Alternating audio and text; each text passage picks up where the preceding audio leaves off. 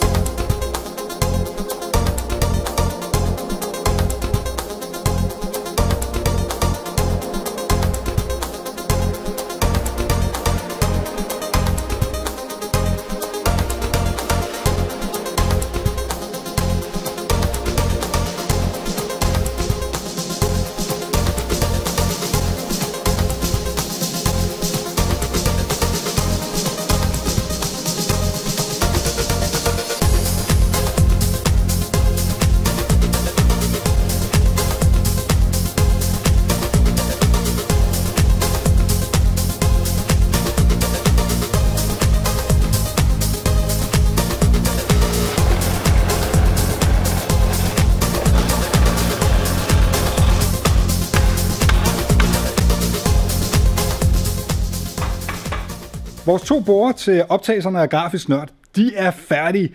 Og det vi har gjort, det er, at vi blandt andet har taget selve papkassen, som øh, bordpladen den kom i, og lavet om til et låg, som så ligger oven på bordpladerne. Og det er simpelthen for at beskytte bordpladerne, så vi ikke kommer til at rispe dem og sådan noget. Det andet vi har gjort, det er, at alle bordene er på hjul. Og de kan selvfølgelig låses. Ah, det var lettere sagt sådan der. Og der er bremse på alle fire hjul. Og så har vi også gjort noget, som jeg synes er super snedigt. I den ene ende af bordene er der sat magneter op. Hvilket er ens betydende med, at vi kan klikke bordene sammen. Så vi skubber bare de to bordplader ind mod hinanden, og så klikker magneterne fast. Og det her, det er sådan nogle 8 kilos magneter. Så altså, vi kan have 16 kilos træk på den her side af bordet. Og øh, det betyder med, at vi jo meget let kan trille bordene rundt og skubbe dem sammen og sige klik, klik, og så sidder sammen. Og når de står på deres rigtige sted, så er vi klar til at optage grafisk nørd. Når vi er færdige med at optage grafisk nørd og har brug for at bruge området til noget andet, så kan vi simpelthen bare trække bordene fra hinanden ved at give dem et hårdt ryg. Og så kan vi ellers stille dem, som de for eksempel står nu med side mod side eller noget andet. Så det synes jeg er en super smart og super fleksibel løsning. Så nåede vi så langt med projektet, og som du kan se, så lykkedes det os at sætte det her tapet op. Jeg er lidt i tvivl om, hvor godt det egentlig vil holde, men vi har brugt normalt tapetklister, og selve pladen her bagved, det er jo glatte plastikplader, vi har monteret det på. Og tapetklister vil normalt helst have fat i sådan en ro overflade, altså sådan noget af en anden væg, øh, eller en anden tapet, eller en væg, eller et eller andet. Men øh, lad os nu se, og hvis det viser sig, at de begynder at falde ned, øh, de her baner af tapet, så må vi sætte dem op med noget, der, der klæber lidt kraftigere. Det er et eksperiment, vi bliver klogere, og sådan er det, og så er det jo altid godt, det ikke er ude hos en kunde, vi laver det her nummer, men netop internt, og det er jo også en af de idéer, der er med de her interne projekter, det er, alle de her interne projekter er nogen, vi lærer af. Det er nogen, vi virkelig får noget dyrbar erfaring af at lave.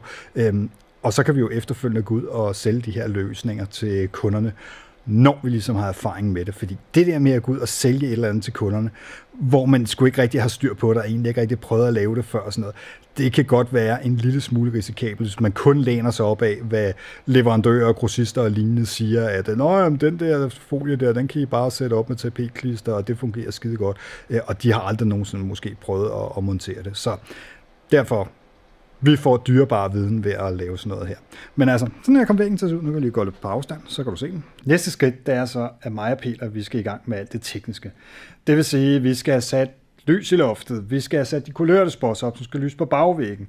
Vi skal have mærket op på gulvet, hvor kamera og alle de her forskellige ting skal stå. Og vi skal have trukket kabler og alt det her. Men indtil videre, der er der altså kommet farve på den her væg. Og jeg synes, det ser tæske lækkert ud. Kunne du lide den her video, men gik du glip af den tidligere, så kan du faktisk se den lige der.